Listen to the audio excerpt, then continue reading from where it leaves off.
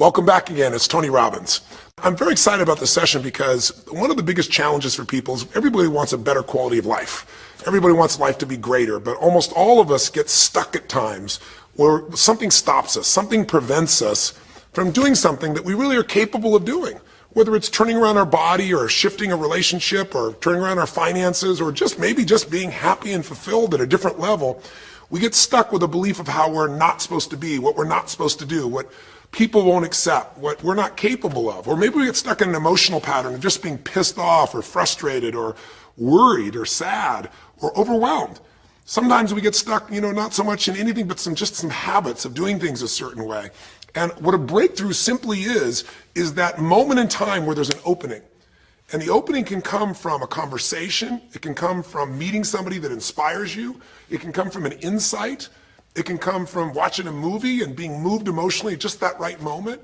It usually comes because something kind of clicked inside of us. Something snapped us and made us look at life through a different filter in a different way. And you know it's a real breakthrough because you take that little insight, that little distinction, that little moment, or maybe that little or big emotion inside of you that says, no more, I'm going to change this. And suddenly you do something to make your life better. You break out of the impossibility of life has to be this way or life is controlling me, and you start to take back control of your life. You start to make the shift that creates the quality of life that you really deserve. Everybody experiences extreme stress at some point in their life. I don't care who we are. Something happens outside our control and it hits our life and it knocks us on our tail. It might be a health stress. It could be something with your family. It could be economic, career, it could be something emotional that happens, biochemical. There's so many things. It could be an environmental situation that have nothing to do with you.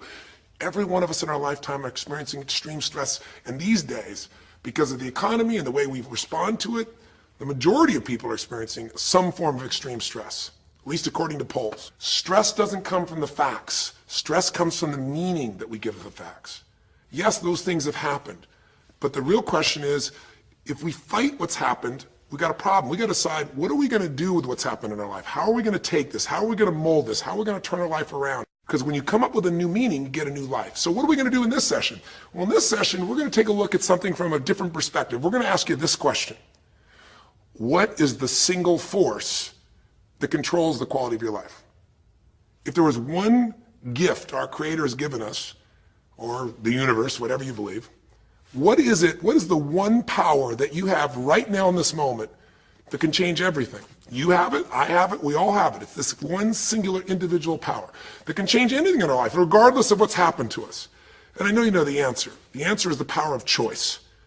The one thing we have in this world is we can't control the events, but we can choose what to focus on, we can choose what things mean, and we can choose what to do. Those three choices, those three decisions really control our life. It's not so much the conditions of our life that control our destiny as much as the decisions of our life. Try for a second to think about something. Think about your life and just think about are there a few decisions? If I were to ask you two decisions you've made in your life, you know, that if you would have made a different decision, you would have had a totally different life. I mean, it may be a life may have been better or may have been worse, I don't know, but you would have a different life. I'm not asking you to to buy into the fact that you should have known the answers. I just want you to see the power of a decision. How is your life better today because of a decision you made years ago, not just negative ones? Think about it. Sometimes a little decision changes your whole life. Like you decide one day to go to a certain school, and you go to that school or you, to go eat someplace, and you bump into the person that becomes the love of your life. Or you meet someone, and you decide as a result of that that you're going to become a photographer or a software engineer or a business person or a doctor, a dentist, whatever. They impacted you, but you made the decision, that's what I really want. That's what, that's what my life's going to be about. And that decision has affected so much of your life. What you do, how you live your life, how you spend your time, what you earn or don't earn, you know, who you attract into your life, beliefs you have, all come from some of these little decisions. What you decide to eat from your dinner plate each night certainly determines your physical destiny, right? We all know that, at least to a certain extent. I know there's a certain amount that's genetics, but I'm talking about the stuff you and I can control. So decisions equal destiny. It's not our conditions, it's our decisions. So if we want a new life, if we want a new experience, we've got to make new choices. If you don't like the way your career is or your business is, change it. If you don't like your body, change it. You don't like your relationship, change you first. Because if you change it, you'll bring you to the next one. Maybe it's time to change it too, but change yourself first. If you want to change anything in your life, you have the choice. So there is no right or wrong. I just want to make you aware in this breakthrough session that everything in our life changes the moment we make a decision. And I mean a real decision. A decision is when you cut off any other possibility and you commit to something with everything you've got and you take action. But the big decisions start with little decisions like what am I going to focus on? Because whatever you focus on, you're going to feel. If you focus on all the things that have been done to you in your life, of course you're going to feel like hell. If you focus on all the amazing coincidences that have happened, things that maybe they were guided, maybe not, but things happen. And because of that, you met this person that's your best friend, your husband, your wife, or because of that, you have this ability, or because you were there that day, God, you missed an accident. I don't know what it is, but whatever you focus on, you're going to feel. If you focus on people don't care and you'll look for reasons why they don't care and evidence they don't care, you'll find it everywhere. If you look for evidence that people are really good people inside, that at some level we all care about each other, you'll find it. Seek and you shall find. The secret is, have you become conscious about your decision making? Because this breakthrough session is really, you want to change your life, make new choices. New life comes from new choices, but you got to make conscious choices. The people in this particular television special, the, Melissa and her husband, they really found themselves in a place where they were both making decisions, Melissa and Rick, that were unconscious. When you make decisions about what to focus on and what things mean and what to do, and you're unconscious, you get pretty terrible results usually. Now, we've all done this. I do it still. We all do. But if you want to change your results, you got to become more conscious in your decision making. So think about it. What you focus on, you will feel. Whether it's true or not. You focus on how people don't care, you're going to feel they don't care. Second decision you make is what do things mean? So you focus on something someone does and you come up with a meaning, and the meaning is no one loves me. The meaning is they're trying to take advantage of me. Depending on what meaning you come up with, and you get to choose the meaning of anything. For some people, they say this situation happened with the economy, and what that means is I'm going broke. Somebody else said the situation happened with the economy. Guess what? That means I'm going to work harder. I'm going to be more creative. It changed everything. Everybody else is going to quit, so we're going to dominate the marketplace. For people to do it. Is this the end right now, or is it the beginning? See, whether it's the end or beginning is your choice. You get to decide. Because once you make up a meaning, it's true. If you think that this is the end of a relationship, are you going to treat people the same way as if you think it's the beginning of a relationship? No way. In fact, I tell people, if you want to have a great relationship, think about this. Treat people like you did in the beginning of the relationship, and there won't be an end. In the beginning of the relationship, when somebody says to you, Would you take out the trash? What do you say? Of course, take out the trash. You're happy to do anything, right? But after about six months or six years, you go take out the trash. You go, What do you mean? What, I look like your janitor? Take out your own trash the meaning we give things is very different, and so we feel different, and our life is different. In the beginning, you'll do anything for someone. Now you make up a new meaning. Why should I have to do that for them? Little choices, like what to believe about yourself, what to believe about other people, whether this is the end or the beginning, start to affect your whole life. And the third decision we make, we decide what to focus on, most of us unconsciously. We decide what things mean, and the third thing we decide is what are we going to do? We decide to quit because it's overwhelming. We decide to get strong and focus. We decide we're going to turn it around. We decide to wait and see.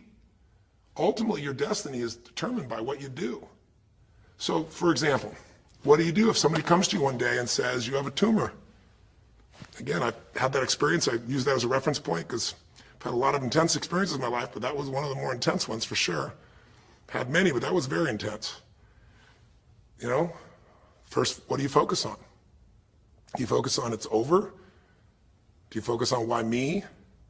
Do you give it a meaning that says, I'm going to die? What do you do? Do you just go through traditional therapeutic approach? Do you put yourself in the hands of someone else? Do you evaluate this? Do you get a second or third opinion? Your destiny is determined by your decisions. Now, if you're a guy like Lance Armstrong, you focus immediately on, I got to find a solution. The meaning you come up with is, this is the ultimate battle. And what you decide to do is you're going to exhaust every possibility. Now, that doesn't guarantee you're going to succeed, but it's interesting. When you have that kind of a mindset, it shifts you. And Lance Armstrong, I mean, he was told things like, look, You got, you got tumors here in your brain, you got them in your lungs, right? You got obviously in testicles, and you ride a bike for a living. That's pretty tough. But he made it to all of those pieces. Now, am I saying because he made the right choices? I can't tell you that. There's certainly some grace in everything. I think in life, there's three things. There's our ability to choose what we're focused on, uh, to commit, to, to get a result, to put all our intention and focus into something. There's our ability to do the right things, to have the right strategy, to execute. And then there's some grace. There's what some people call luck, some people call grace. There's if you do the right things over and over again and with total focus, sometimes, you know, you get good fortune that comes your way. And you tend to have more good fortune when you're totally focused and decisive and you take lots of action than if you kind of just sit around and accept things like, like you don't have a future.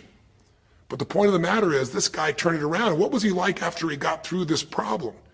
After he had his breakthrough, after he faced cancer, racing against some other guy seemed like nothing by comparison. You're not much of a competitor. I faced death. And he goes on to win Tour de France after Tour de France after Tour de France, breaking every record anyone could ever imagine. What do you do decades ago, half a century ago almost now, and someone says to you, go to the back of the bus, and you're African American? One woman just decided, you know what? You can't take my dignity from me. I can only give that up, and I don't choose to give it up. And I will not go back to the bus. The answer is no. And Rosa Parks changed an entire society. Because that day she chose to focus on something else. She gave it a different meaning. This is not a command. You do not have control over me. And she decided to fight. And she changed the direction of a country and of many other countries. She started something. We forget that you don't have to be famous to have the ability to change at least your own personal history, to change the direction we go in our life. We have the power to choose, even if you haven't before. You can finally say, no more. I won't put up with that within myself or from anybody else. And here's what I'm going to do differently. That's where the breakthroughs really start to happen. Now, the question is, why do some people stand their ground and make something change versus other people just kind of accept things? Why do some people make bold decisions and other people make decisions that are based on trying to hang on to what they've got? Well, that's a more complex question to answer than we might have in a few minutes in this one session, but it is one that I've spent my life studying. Because when you can change your decisions, you can change your life. When you can change the force that controls your decisions, you can change anything in your life. At some level, we have certain beliefs and values. But if I was going to make it simple, I'd say there's two things that determine your choices. The first thing is the state of mind and emotion you're in at that moment. Think about it. Have you ever snapped at somebody and had nothing to do with them? It was just the state you're in, right? You're frustrated, you're pissed off about something, and in that state of mind, whatever they said got interpreted through that state, and you made up a meaning like they were an irritant or they were interrupting you. They weren't. You probably felt bad afterwards. When we get in the wrong state, we make the wrong decisions. When you get in a strong, empowering state, you'll make a better decision.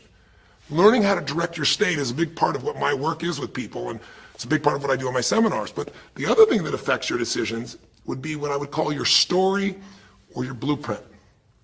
We all have kind of a story about how our life is supposed to be. It comes from a set of life experiences, interpretations.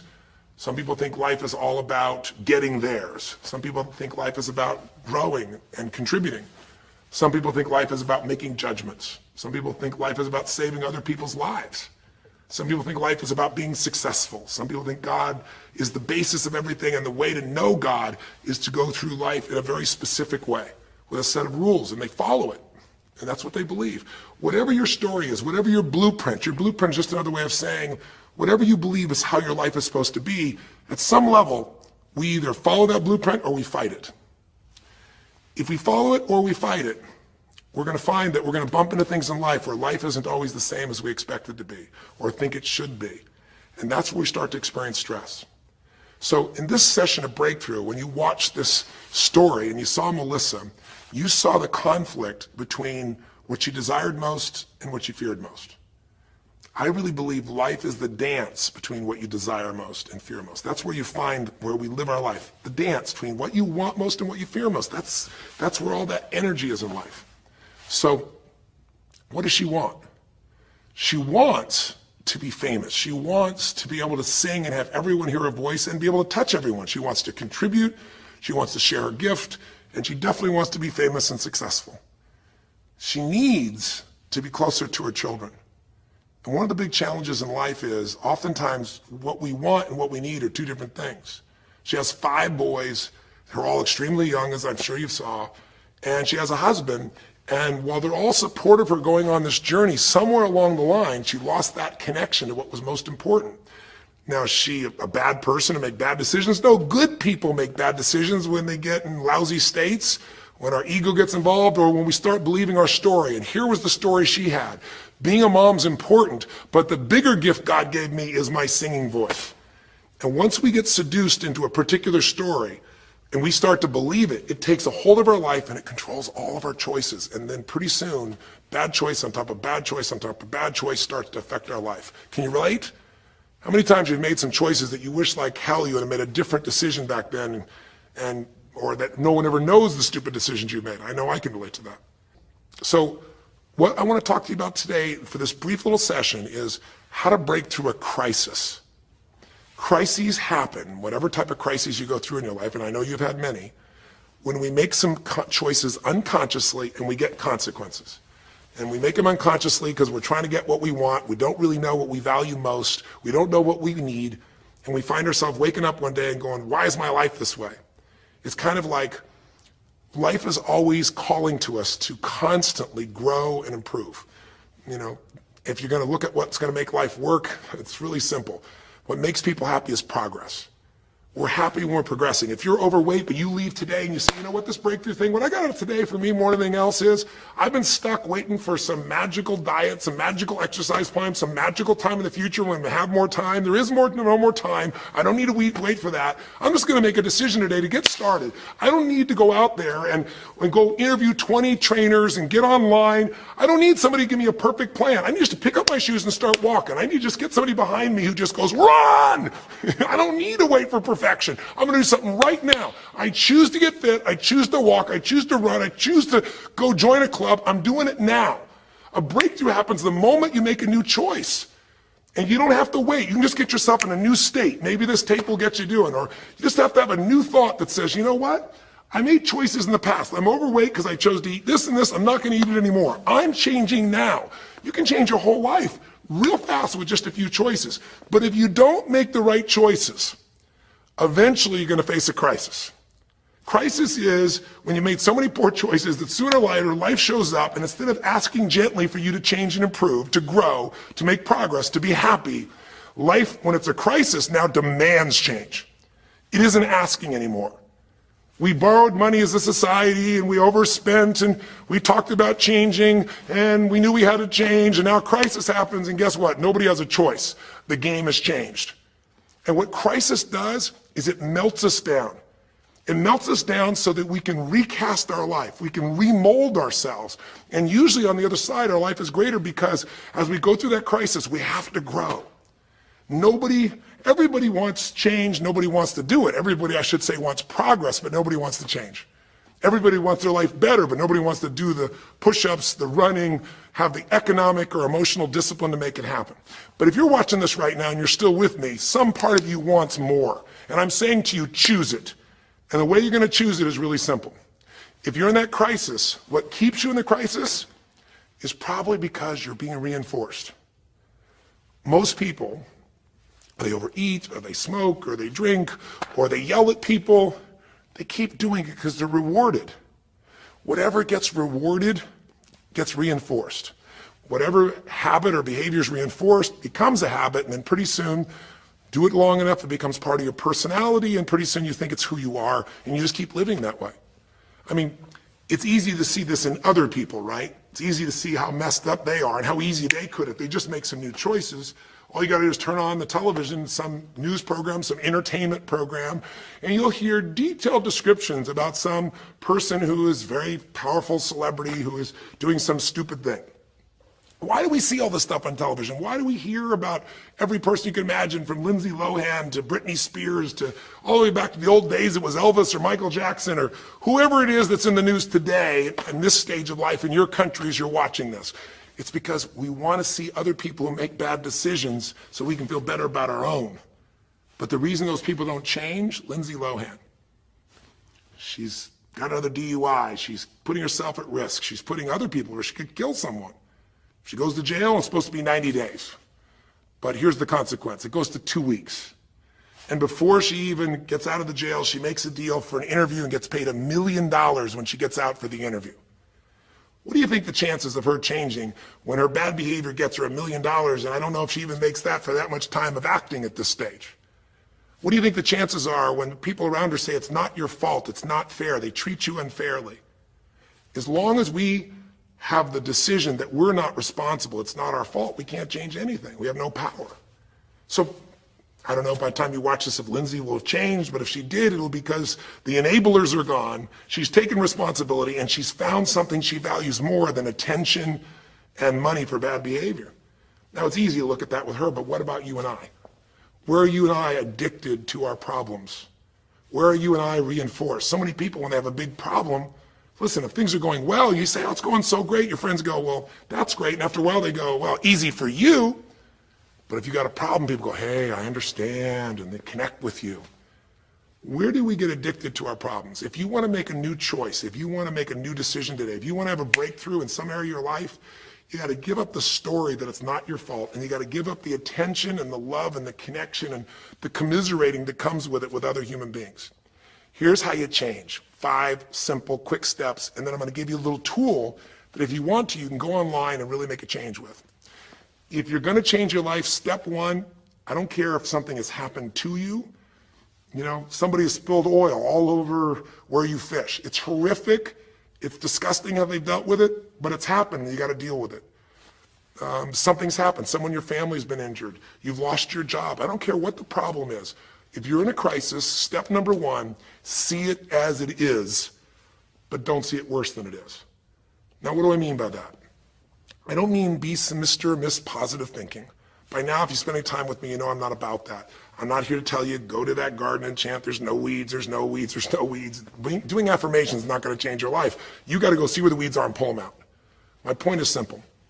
You got to see what the problem is, but you can't make it so horrific that you just give up. Today, this is the first generation in almost 100 years of Americans who now believe, the majority of Americans now believe, that the quality of life for themselves and their kids in the future is going to be worse than the past. They have, in other words, nothing to look forward to. 63% of the U.S. as of today. Wow. When you start thinking there is no future, you go into what we call learned helplessness, a place where you just kind of give up. And if you get to that place of giving up, then, then you have no power over your life. That's when people get depressed. That's when people do crazy, stupid things. That's when people want to turn to drugs or alcohol or sometimes suicide or just total frustration and anger, and their life starts to do the opposite of a breakthrough. It becomes completely stuck and in pain or in ongoing suffering. If you and I are going to break out of that, we got to see it as it is. We're not here to be positive thinking people. You got to see what's really going on. But if you're overweight, you can't say to yourself, well, I'm big boned. That's not why you're overweight. You're overweight because you don't work out, you eat certain things, you eat Cheetos all day long watching TV. I don't know what it is you do, but I know it's not just because you're big boned. You don't want to make it so it's outside your control or you can't change it. So see it as it is, but don't see it worse than it is so that you have no reason to try. Does that make sense? That's the first step. Step two, get to the real truth and deal with it. Don't just see it as it is and not worse than it is. Don't just like balance it, but now get to the truth. I mean, listen, if the truth is you've been trying to get a job for two years and you truly have worked every day in a particular industry, and the number of jobs in that industry has shrunk down, and you really aren't getting that job, then you might have to look at the truth. The truth is you might have to retool. You might have to say, gosh, you know, the industry I'm in is gone. I mean, gross simplistic example, but for years, vinyl records were around for 85 years. It was a gigantic industry. And things came and went. During the vinyl record time, what happened? Well, there was, remember those eight track tapes? Are you ancient enough to remember those things?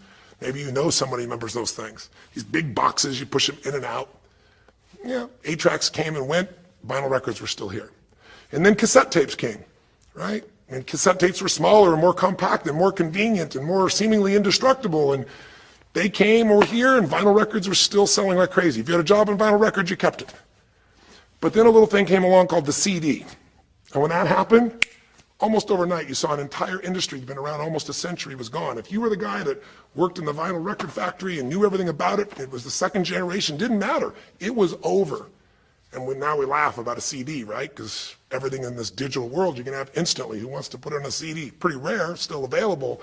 In vinyl records, maybe there's a small market of people that are collectors, but it's gone. My point is, if you're in the vinyl record business, you got to tell yourself the truth you got to see it as it is, not worse than it is, but you also got to get the truth and deal with it. You got to deal with the cards you're dealt. You're going to have to retool. You're going to have to change something. You might have to move. If you live in the Gulf, and I don't support anything that's happened there, who could? It's unconscionable what's happened with BP. But if you live in the Gulf and you're a third generation fisherman, and you're now, you fish for oysters and they're dead, you better get to the truth. Are they going to be dead for two years or 10 or 20 to the best of your ability? And you might say, well, I can't do anything else. I can't. I'm a third generation. This is all I know. Yes, you can. Get to the truth and deal with it. Deal with the card you dealt with. You got to deal with it, sure, I'm sure legally. But in the meantime, you got to take care of your family. I'm not saying this off the cuff easy because I've been in those situations where it's impossible, it's unjust, it's wrong, but I still got to deal with it just like you. Am I making sense? It's like you might say, I, have lived here my life. You might have to move. You might have to fish someplace else. You might have to, I know you still got to deal with all the consequences, but you got to take back control of your life. There are unjust things that happen, but you got to take control. Easy for me to say, I'm not sitting in your shoes. I get that. But who hasn't experienced some form of injustice someplace? Who's not dealt with something unfair? Who's not dealt with something that wasn't meant to be unfair, but it affected your entire life, your career, your finances, whatever? You got to tell yourself the truth and you got to get to those dealing with the reality right now. The longer you wait, the longer the crisis will be.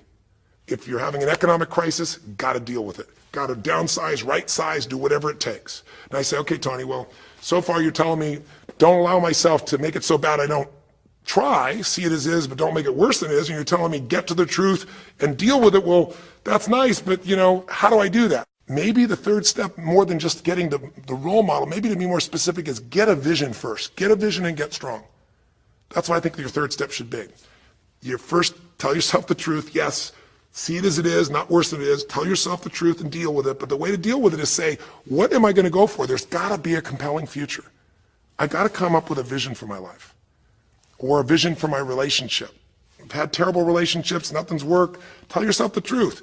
I've made poor choices or I've told myself stories and gave myself excuses or I've not had the courage, whatever it is. Get to the truth and then get yourself a vision for what you do want. Because you have to have something you're going to move towards. Does that make sense? If, without a vision, people perish. It says in a very good book called The Good Book. And I know there are many good books, but that's a good one to take a look at. We need something to go for. We can deal with any problem today as long as there's something that we can look for in the future that we can strive for. It'll give us the emotional and psychological fuel, the juice, to keep moving forward. So you got to come up with a vision, and a way to do that, we'll call that step four. Get a role model. Um, you might get the vision from a role model. You might get the vision just from coming up with a new idea. In order to figure out how to go from where you are to where you want to be, to close the gap from where you are to where you want to be, it's best to learn by other people's experience whenever you can. So get a role model, get their strategy, and go to work. Get into action. So I'll give you an example. Um, Years ago, when I was first starting to try to figure out how to build myself financially, I grew up at a time when just as I was starting to do well, this big recession happened. And I remember I was like 29, 30 years old, I think, and maybe 31. And I was doing okay. And then all of a sudden, there were all these business challenges because we went through this severe recession back in those days. And I remember at the time, everybody was downsizing and freaking out. And I thought, you know what? I don't want to just settle for this. I want to find a way to do well who's done well in really tough times? And so I started doing my homework. And in those days, you know, you didn't go out and use the internet the way you do today. You couldn't access all that information. We actually went to libraries and did research in traditional ways. I'm ancient enough to remember those days. And um, I started hearing about this man named Sir John Templeton. Very famous man. He's a man who became a multi-billionaire as an investor. He started with nothing. But what was interesting is when I started to find out about his story, because here's a guy that, when he's a young man, he's called Sir John Templeton now. He was actually an American originally, and he wasn't Sir. He came from a very poor family, and he just decided that in his life, He wanted to not only do well financially, he wanted to do so well he could help other people at any level that he wanted.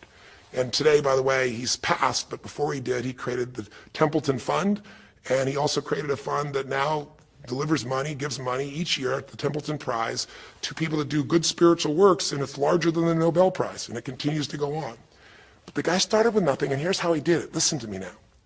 The reason I look for him as a role model is because he made all his money in the worst of times. He made all his money when people were going through the equivalent of the deepest recession or depression possible. His whole belief was, and this is different than almost anybody else you see around you, was pessimism was the secret to success. that what he wanted to do was make money when people were most pessimistic. Because when people are optimistic, they want you to pay for their house a huge sum of money. But as they start getting more and more pessimistic, where pretty soon they think they can never, the house is the worst thing to have, they'll virtually give you the house. They'll virtually give you the business. And so he made all his money starting in World War II. When the war broke out, when Hitler invaded over in Europe, he took all the money he had and borrowed a total money of $10,000, a total amount. He bought with $10,000 every stock on the New York Stock Exchange that was $1 or less that he thought might be useful, including some companies that looked like they're going to be bankrupt. But he did it when people were the most pessimistic. Because if you recall, it looked like Hitler was going to take over. It didn't look like we were all going to be the winners. It looked like Hitler was going to dominate. And when people were that scared, they would give up anything they had just to get a little bit back. And so he bought all the stock that eventually made him a multi-billionaire. He became a billionaire because after things changed, after the war, just five years later, and the economy started to surge, everything changed for him. Where do you think he invested next after World War II? Where was a country that was pummeled, that was down, the factories were basically turned into mud? Japan. You could buy things for pennies in Japan that would have cost you hundreds of thousands of dollars before, and he did. When everyone was most pessimistic, he went and did well. And then he sold when the 80s surged and when everybody thought Japan was the greatest country on earth and had the biggest businesses, he sold and made his maximum profit when people were overly optimistic. He did the same thing down in South America when inflation went crazy. This man spent his entire life basically having a strategy of how to succeed when everybody else was scared. I tell you that because he's a role model. What he did, how he did it, it's all in writing, it's crystal clear. You could do the same. But you won't be able to do it when you're telling yourself the sky is falling and it's over. When you see it worse than it is, you'll just give up.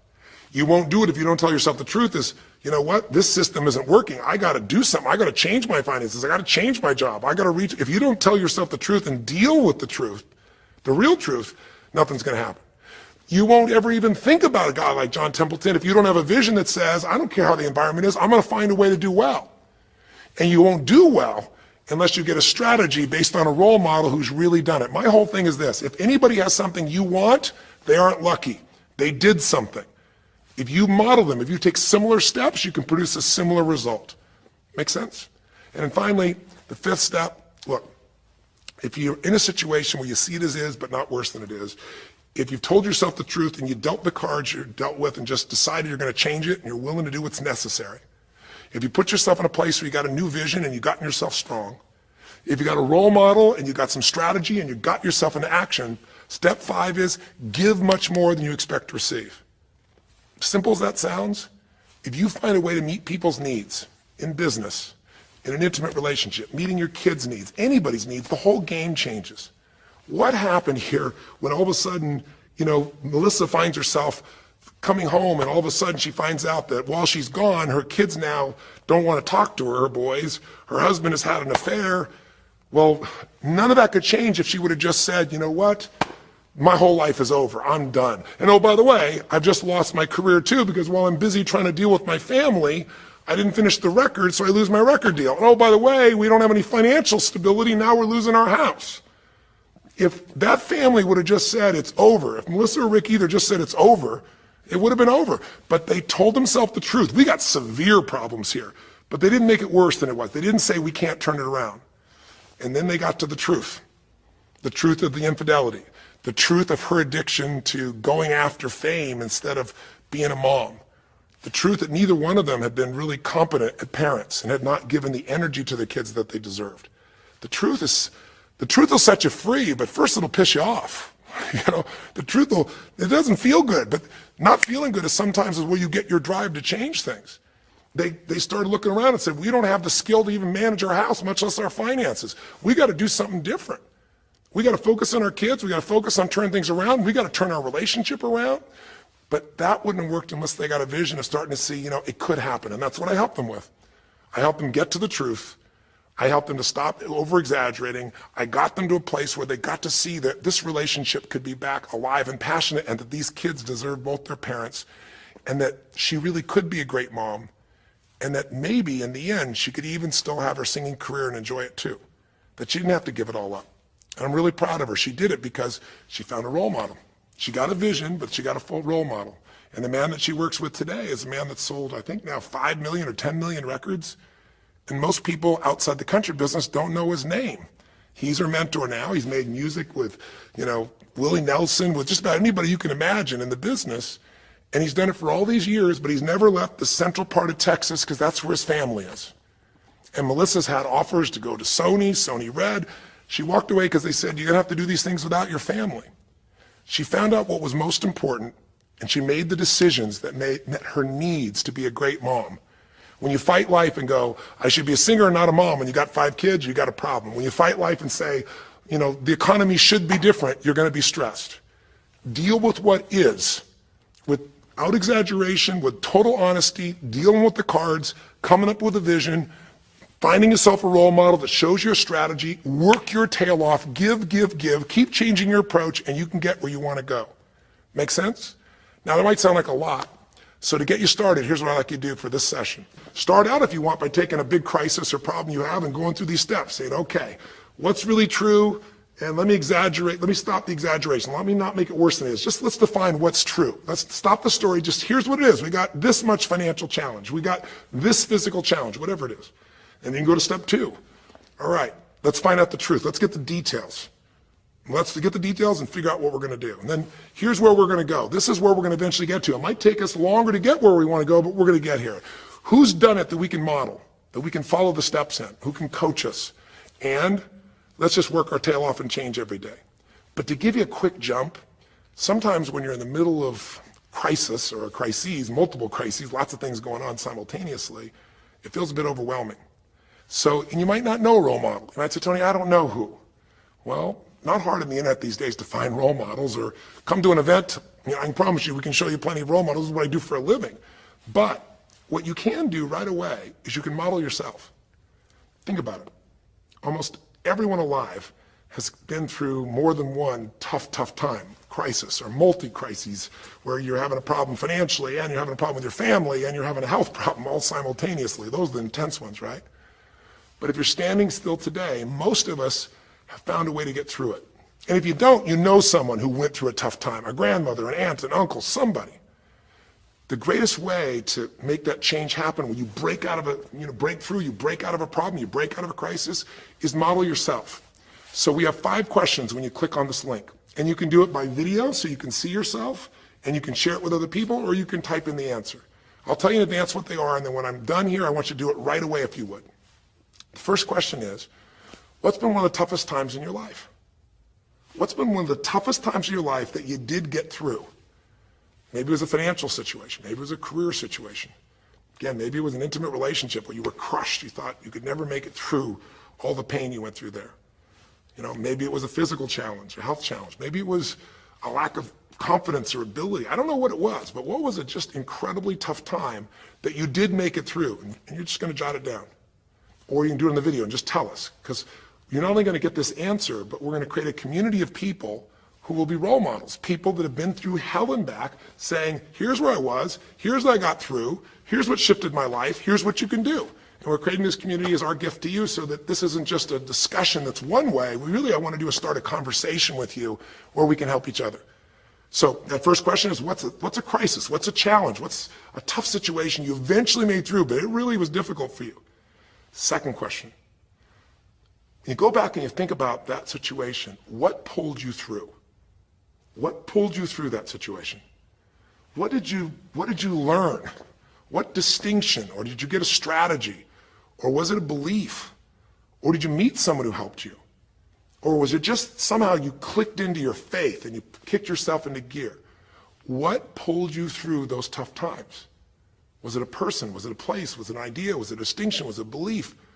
What was it? Share it with us. Type it down or tell us from your heart what it really was.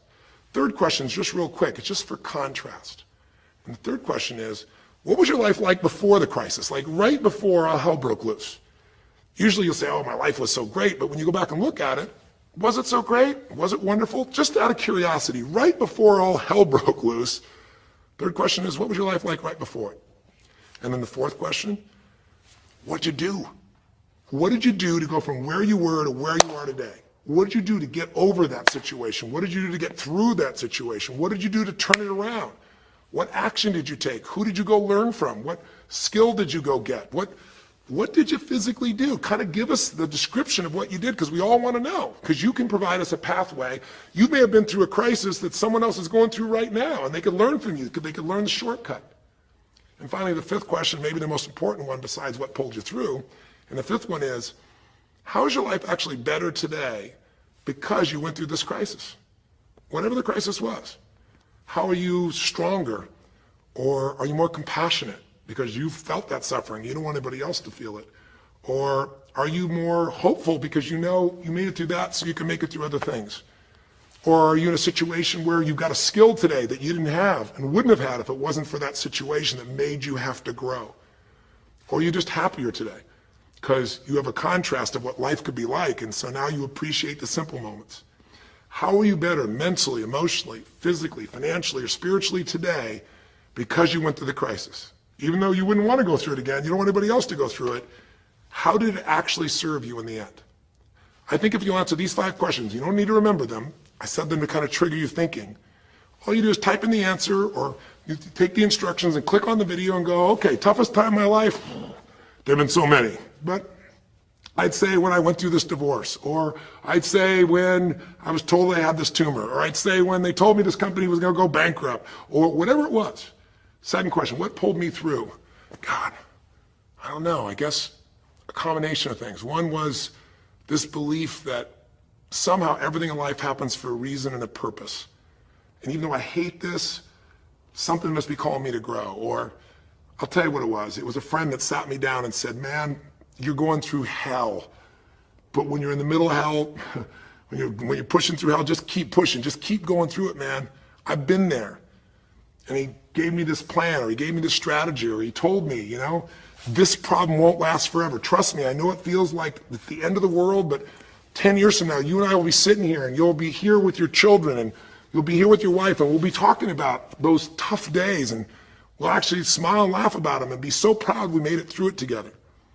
Or you might say, what got me through it was prayer or my faith in God or what got me through it was just massive action. You know, what pulled you through? Just tell us. We all want to hear. We all need to know. And there's lots of ways to get through hell, isn't there? There's lots of ways to get through a crisis. There's so many ways. That's what I want people to get. So when you're done with this on the website, you will give in something. Because the community is not just a place you go get stuff, right? It's a place you give. And the more, you know, authentic you can be and honest from your heart, the more other people will see and be touched. You know, what was it like before? Oh my God, I was on top of the mountain. You know, what did you do? Here's what I did. You know, I told myself the truth. I went and got this new education. I went and started talking to people each day. I, whatever you did. How's your life better today? Um, there's a phrase, you know, be humble or be humbled. You know, I have a different level of humility because I know, you know, that as good as I may think I may be, that situation reminded me that life is not just about me, it's about we. Or, gosh, because of that, I love my wife so much because we made it through that situation together or because of that, man, I'm so much stronger financially. I'm on top of things. I don't let anybody spend. Whatever it is, tell us how your life's better. Okay? I don't know how long the session was. Again, there's no script here, baby. I just want to work with you heart to heart to say one thing. If you want to break through, you have to make new decisions. New choices create a new life. The only thing stopping you is some limiting belief, some belief about how life should be different or you should be different. Deal with life the way it is. Tell yourself the absolute truth. Don't make it worse than it is. Tell yourself the truth. Deal with it. Get a vision. Get strong. Get a strategy, get a role model with a strategy and get into action and then put your focus on taking action every day. Giving, giving, giving, change your approach, you will get there. Go to the Power of Crisis right now, click in, give us your message, the answers to five, and look at other people. You'll find people have been through things you can't imagine. A woman talking about how one day she was home and a man came in and to try and save her children from being hurt, she had to let her, him rape her right in front of her kids. And when her, father, when her husband found out, rather, he came home, he was so upset he left her. And then she developed cancer. I mean, you, you'll see some stories here that'll blow your mind. And today she's the most happy, incredible woman, and she's helping other people who have cancer to get through it. She's healthy and strong. Her kids are strong. We need those kinds of role models. So whether your story is little or big, there is no little or big. We all need a pathway of power. And this will be a gift to yourself because it will activate your resources. And it'll be a gift to other people as well. So that's our session. The power of decision, the power of choice, how to face a crisis and turn around. It may not sound like uh, you know rocket science. It's not. It's just called the truth, and the truth will set you free, as they say. So live strong and live with passion.